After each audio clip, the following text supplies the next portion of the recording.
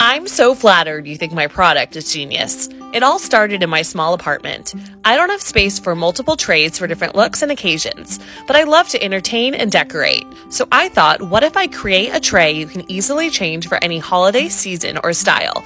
Well, I created the Jack of all trays, and now it's loved by thousands of customers and is such a hit for Mother's Day and housewarming gifts.